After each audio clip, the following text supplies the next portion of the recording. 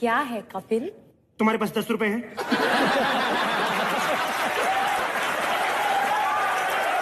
मेरा पास दस रुपया इल्ले। हिल है पर दस रुपए का तेल डालेंगे तो स्कूटर हिल है